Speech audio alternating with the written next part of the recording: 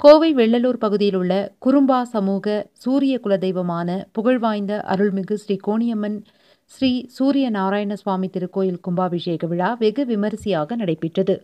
கோவை மாநகரில் காவல் தெய்வமாக விளங்கும் ஸ்ரீ கோணியம்மன் கோவையை அடுத்த வெள்ளலூரில் குறும்பா சமூக குலமக்களின் குலதெய்வமாகவும் அருள் வீற்று மேலும் ஆடுதுறை ஆலயத்திற்கு அடுத்தபடியாக உஷா தேவி சாயா சமேத ஸ்ரீ சூரியநாராயணன் மேற்கு முகமாக எழுந்தருளும் சிறப்பு வாய்ந்த ஆலயமாக இந்த கோவில் உள்ளது. இந்நிலையில் இக்கோயில் ஆகம சாஸ்திர முறைப்படி வர்ண கலாபம் செய்யப்பட்டு மகா கும்பாபிஷேக விழா கடந்த வாரம் துவங்கியது. மகா கணபதி நவகிரக ஹோமங்கள் செய்யப்பட்டு அருள்மிகு மகாலட்சுமி ஆலயத்திலிருந்து முளைப்பாரி புனித தீர்த்தங்கள் அழைத்து வரப்பட்டது.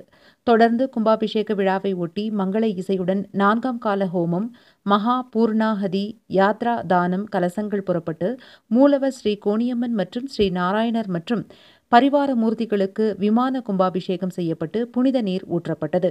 வெள்ளலூர் குறும்பா சமூக குலதெய்வ கோவிலாக போற்றப்படும் இந்த ஆலய விழாவில் கோவை பொள்ளாச்சி உட்பட கோவை மற்றும் அதன் சுற்றுப்புற பகுதிகளைச் சேர்ந்த குறும்ப சமூக மக்கள் உட்பட ஆயிரக்கணக்கானோர் கலந்து கொண்டனர். தொடர்ந்து ஆலயம் அருகிலுள்ள காமராஜர் திருமண மண்டபத்தில் அன்னதானம் நடைபெற்றது.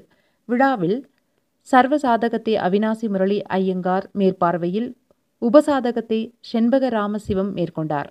ஆலய ஸ்தபதியை திரு சவுந்தரராஜன் செய்திருந்தார்.